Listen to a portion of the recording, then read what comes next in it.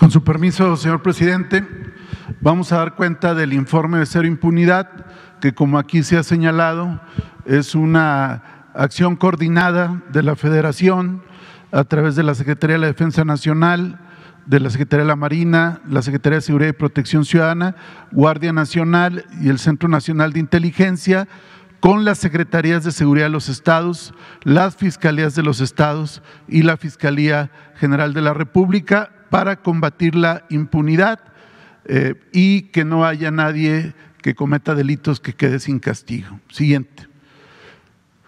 Este es el caso de la detención del presunto feminicida de Erika N por hechos sucedidos en junio de 2019, cuando Guillermo Jorge comete el delito de feminicidio en agravio de Erika N. Esto fue en Playa del Carmen, Quintana Roo. El cuerpo de la víctima apareció el 18 de junio de 2019 al interior de una maleta. Al presunto feminicida utilizaba identificaciones falsas para evadir la justicia, sin embargo ya fue detenido en una operación coordinada por la Fiscalía de Quintana Roo, la de Oaxaca y la Coordinación Antisecuestro. Siguiente. Aquí se puede apreciar la suplantación de identidad que cometió esta persona, que es algo similar a lo que aconteció con el feminicida de Cardel Veracruz, que dimos cuenta la semana pasada, que es ya digamos un modus operandi, suplantar identidades para llegar a otros estados y cometer sus eventos criminales. Siguiente. Es el caso de la extradición de César D hacia México. El pasado 2 de junio, el gobierno de los Estados Unidos de América entregó en extradición internacional al gobierno de México a César D., gobernador de Chihuahua, para que sea procesado por su probable responsabilidad en los delitos de peculado y asociación delictuosa, ambos con penalidad agravado por el desvío de recursos por más de 96 millones de pesos entre los años de 2011 y 2014. Ya fue vinculado a proceso. Es una acción donde los delitos fueron imputados por la Fiscalía General de Justicia de Chihuahua, se auxilió por parte de la Fiscalía General de la República y la Secretaría de Relaciones Exteriores hizo diversas gestiones para que finalmente se concediera la extradición a México. Siguiente. Informamos de la detención de Tomás N., alias El Diablo, en el Estado de México, en el municipio de Nicolás Romero, en una acción desarrollada por la Fiscalía General de Justicia del Estado de México. Esta persona fue detenido por los delitos de eh, extorsión, robo, homicidio y también delitos cometidos en contra de fraccionadores y despojos. Eh, él, junto con otras tres personas, contaban con la orden de aprehensión por la presunta responsabilidad en el homicidio de un elemento de la policía de investigación. Es el presunto líder de un grupo criminal denominado Los Tomases, que opera en el municipio de Nicolás Romero esta persona habría fundado el asentamiento irregular denominado Llano Grande, que tiene una extensión aproximada de 350 hectáreas. Siguiente. En el predio que despojó, al interior, esta persona construyó un balneario y oficinas que asemejan a una presidencia municipal. Eh, fue detenido y la audiencia para la vinculación a procesos se celebrará en las próximas horas. Siguiente. También informamos de la detención por parte de la Fiscalía General de Justicia de la Ciudad de México, en trabajo coordinado con la Policía de Investigación, donde lograron detener en flagrancia a Nelson N., de nacionalidad holandesa, por la probable responsabilidad del delito de trata de personas tras la realización de un cateo en un inmueble en la alcaldía Gustavo Amadero, donde el detenido conservaba en posesión diverso material de pornografía infantil, además de un arma de fuego, cocaína, entre otras sustancias. Es importante señalar que el detenido es el posible líder de una asociación internacional de pedófilos. La pedofilia es el abuso sexual contra menores y es uno de los delitos claramente más reprobables. Siguiente. Fue arrestado en los Países Bajos en febrero de 2020, escapa ese mismo año y fue reaprendido en mayo de 2021. Fue citado a comparecer en febrero del presente año en el Tribunal Supremo de los Países Bajos. Sin embargo, logra nuevamente sustraerse, huye a la Ciudad de México y finalmente se le aprende aquí en la Ciudad de México, donde pretendía ampliar su red de trata y pornografía infantil, lo que originó detectar en un trabajo de inteligencia su modus operandi y finalmente, después del cateo, ser detenido en flagrancia. Siguiente. También, continuando con cero impunidad, que no hay crimen sin castigo, la Fiscalía de Sonora logró aprender en Nogales a Ida Gisela N., probable autora intelectual del homicidio de un dentista, Rubén N., ocurrido el pasado mes de noviembre de 2021. Eh, por estos hechos también fue detenido el presunto autor material, Jorge Luis, quien fue detenido en una acción coordinada con el Estado de Sinaloa en la ciudad de Culiacán. Es importante señalar que aquí hay un trabajo coordinado entre las diferentes fiscalías y que está pendiente ya su vinculación a proceso penal a partir de la petición del Ministerio Público. Siguiente. También otra detención de un presunto feminicida. Eh, se trata de Marlon N., quien habría cometido el delito de feminicidio en agravio de Montserrat N. el pasado 17 de abril de 2021 en el municipio de Veracruz. La detención se logró tras el cateo de la casa de la abuela del probable responsable en Mérida, Yucatán, también en una acción de un buen trabajo de la Fiscalía de Veracruz en coordinación con la Fiscalía de Yucatán. Ya se logró la imputación, la medida cautelar de prisión preventiva y ya se solicitó que el juez obsequie la vinculación a proceso penal, pero este también fue un evento que conmocionó a Veracruz y al pueblo de México. Siguiente. En el estado de Michoacán, en una acción desarrollada por la Secretaría de la Defensa Nacional, lograron la detención de 11 personas, entre ellas cuatro menores de edad, en Villamar, Michoacán, asegurando armas, cartuchos, granadas y equipo táctico, 3.500 cartuchos, nueve armas largas, eh, aditamentos lanzagranadas, chalecos tácticos, cascos antibalas, como se puede apreciar en la imagen, se trata de todo un arsenal que fue detenido por nuestro ejército mexicano. Siguiente. También en otra operación en Quiroga, Michoacán, en las inmediaciones de una huerta de aguacates en la región de Tirimicua del municipio de Quiroga, en una acción, coordinada de la Fiscalía de Michoacán, Sedena, Seguridad Pública del Estado, Guardia Nacional, Marina, CNI y la Fiscalía General de la República, se logró el aseguramiento de diversas armas AR-15, AK-47, pistolas de 45 milímetros, cargadores, camioneta Dodge Durango con reporte de robo, entre otros eh, instrumentos para cometer hechos criminales. Siguiente. Vamos a dar cuenta eh, de la detención del presunto feminicida de la activista y abogada Cecilia Monzón Pérez en Puebla.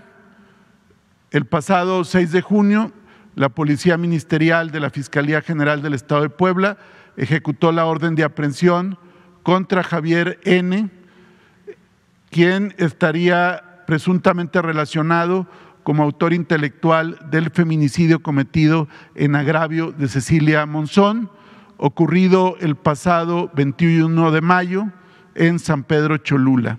Junto con él hay dos detenidos más. Javier N. sería el probable autor intelectual, Silvestre N. el autor mediato, Santiago N. habría proporcionado uno de los vehículos utilizados en el hecho. Eh, Santiago N. fue secretario particular de Javier N. y Yair N. el probable autor material. Se cumplimentó orden de aprehensión en contra de Javier N., Santiago N. y Yair N. y ya el Ministerio Público solicitó la vinculación a proceso penal al juez de control. Siguiente. Dando cuenta de esta acción, que es un gran trabajo de la Fiscalía de Puebla, y decir que estuvimos siempre en contacto con el fiscal Gilberto Higuera y con el gobernador Miguel Barbosa, el, pasado mes de abril, Javier N. encargó a Yair N. y Silvestre N. Silvestre N.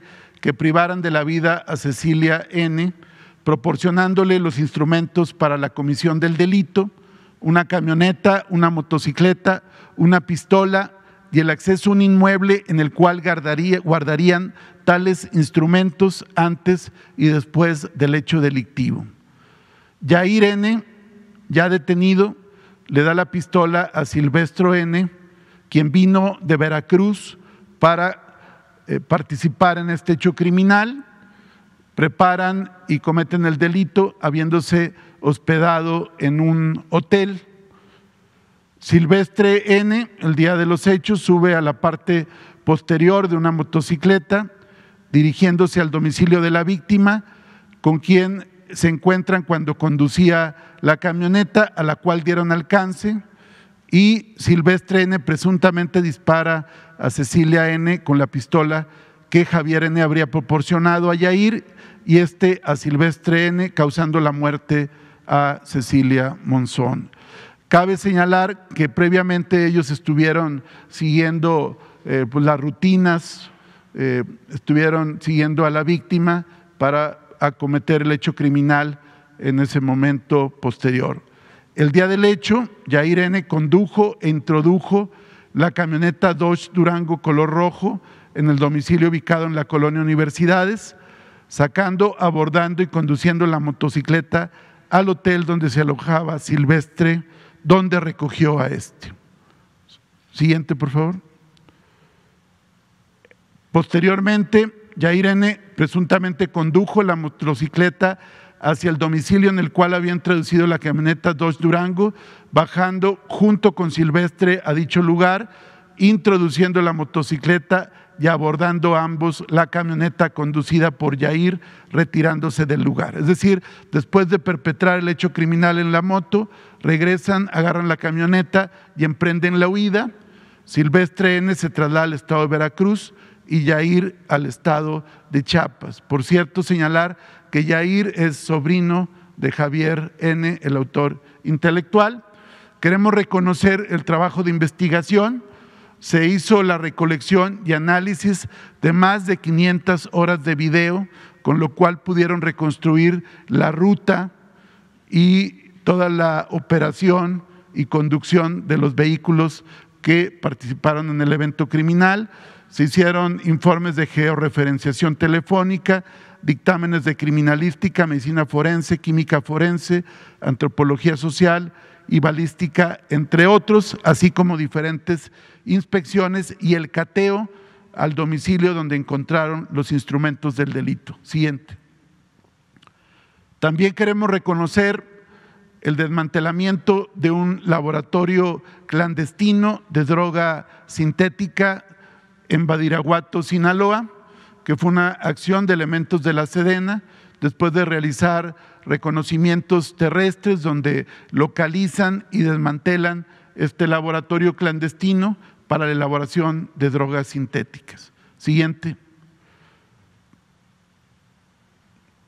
Informamos de la localización de ocho personas del sexo femenino entre los días 2 y 7 de junio por parte de la Fiscalía General de Justicia de Nuevo León.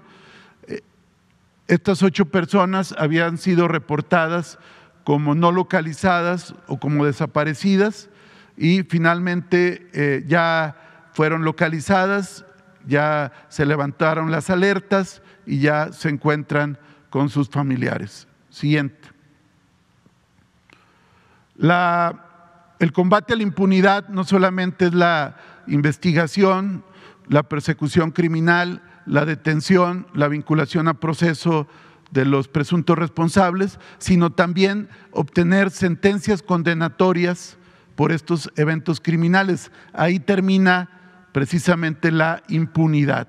Y queremos reconocer que en el periodo del 30 de mayo al 3 de junio, a partir de diferentes imputaciones y procesos penales llevados a cabo por la Fiscalía de la Ciudad de México, el Tribunal Superior de Justicia de la Ciudad de México eh, obtuvo o, dictó ocho sentencias condenatorias con penalidades que van de 22 hasta 140 años por diferentes delitos, secuestro agravado, homicidio, feminicidio, eh, otro feminicidio, trata de personas, que son precisamente eventos que pudieron acreditarse las responsabilidades penales en diferentes eventos delictivos. Siguiente. En el caso del fuero federal, la Fiscalía General de la República, a través de la Fiscalía especializada en la persecución de la delincuencia organizada, obtuvo también diferentes sentencias condenatorias de entre 50 y 151 años en el caso de secuestradores. En el caso, por ejemplo, de Jorge S., él había participado en dos secuestros y el juez de la causa determinó una sentencia de 151 años y aquí damos cuenta de otras sentencias que eh, están a disposición de aquí del área de comunicación social por si fueran de su interés. Siguiente. En el caso de los crímenes, los homicidios cometidos en agravio de personas periodistas, que es una instrucción del presidente Andrés Manuel López Obrador y la secretaria Rosa Isela Rodríguez, que le demos seguimiento puntual eh, informamos de avances en la investigación del homicidio perpetrado en contra de Luis Enrique Ramírez Ramos el eh, pasado 5 de mayo en Culiacán, Sinaloa. Comentar que se identificó una línea de investigación por parte de la Fiscalía General de Sinaloa, una línea de investigación sólida que ha logrado precisar que el homicidio del periodista no fue por su actividad eh, profesional o periodística, sino que responde a otras causas. Se han analizado y evaluado datos de prueba que han, ido, que han permitido ir delimitando el móvil del delito y gracias a las técnicas de investigación ya se tienen identificados a dos presuntos responsables de este crimen, quienes ya cuentan con órdenes de aprehensión. Ya está la persecución y la búsqueda para ejecutar estos mandamientos judiciales y por eh, secrecía, pero también para no alertar a los presuntos responsables, no se da cuenta de sus nombres. Siguiente. Informamos con relación al homicidio de Yesenia y Sheila, periodistas que fueron asesinadas el pasado 9 de mayo en Cozoleacaque, Veracruz.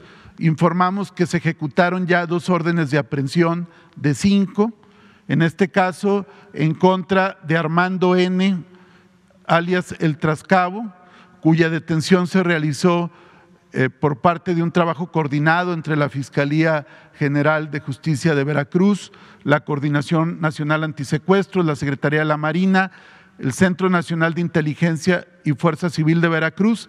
Se detuvo Armando N., alias El Trascabo, en Minatitlán y también un día después, el 7 de junio, se detuvo a Víctor Manuel N., alias El Calaco, esto en el municipio de Cozoleacaque, y ambos fueron puestos a disposición de la autoridad competente y está ya solicitada por parte de la autoridad ministerial su vinculación a proceso penal. Eh, Armando N. habría sido autor material y Víctor Manuel, alias El Calaco, copartícipe. Hay cinco órdenes de aprehensión por este evento, una en contra del autor intelectual y otras más por autores materiales o copartícipes, y de las cinco ya se ejecutaron y cumplimentaron dos órdenes de aprehensión. Siguiente. Con relación a los nueve casos de homicidios en contra de periodistas, informar que hay 26 detenidos o buscados con orden de aprehensión y 17 vinculados a proceso. En las próximas horas serán 19 vinculados a proceso, hablando de los casos de, del Trascabo y, y, Calaco por el homicidio de Sheila y Yesenia. Siguiente. Y aquí está el cuadro al que cada semana le damos seguimiento. No hay ninguno de estos homicidios que no haya derivado en detenciones o en órdenes de aprehensión. Hay 17 vinculados, subirá a 19 y comentar que los fiscales están en la etapa de seguir robusteciendo las investigaciones para complementarlas, para que se logren sentencias condenatorias en todos estos casos. Sería cuanto, señor presidente. Gracias.